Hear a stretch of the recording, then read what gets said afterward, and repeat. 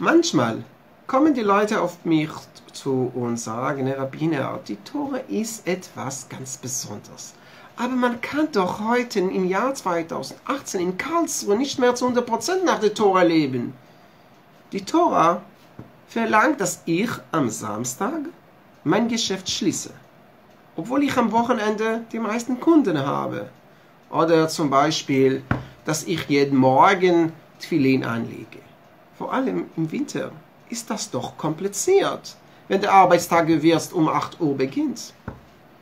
Und dann erinnere ich mich an eine Geschichte, die am Schabbat vorgelesen wird, über die zehn Spione, welche nach Canaan gefahren sind, um das Land auszukundschaften und zu bewerten, wie das Land und die Ernte dort sind. Und sie kehrten zurück und sagten, na gut, die Erde dort ist gut und die Ernte auch aber die Bewohner des Landes sind so stark, dass wir sind nicht besiegen können.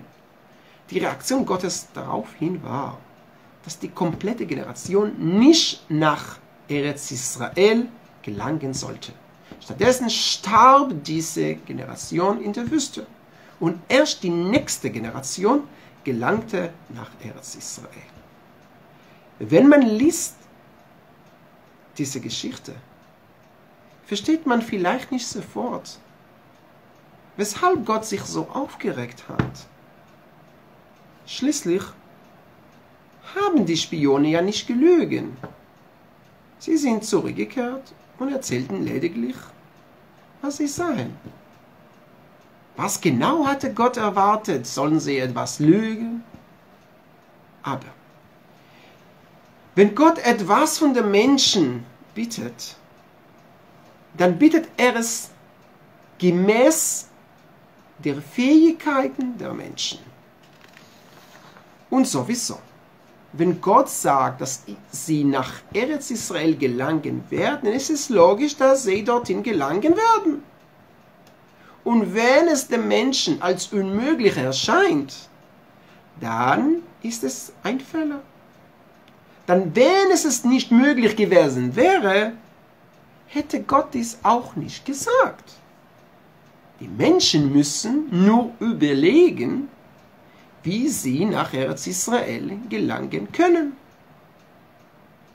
Die Herangehensweise eines Jude sollte sich grundsätzlich mit der Frage beschäftigen, wie etwas zu erreichen ist. Und nicht, ob man es schaffen kann und ob es überhaupt möglich ist. Und wenn Gott dir einige Mitzvot auferlegt hat, die etwas schwieriger sind, ist das auch ein Zeichen, dass du in der Lage bist, diese zu erfüllen und trotzdem dem Jahr 2018 entsprechende angemessen leben kannst und auch sollst.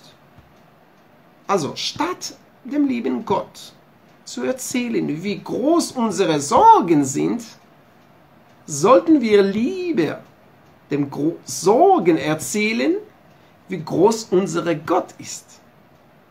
Ich habe nicht gesagt, dass dies einfach ist, aber es auf jeden Fall möglich.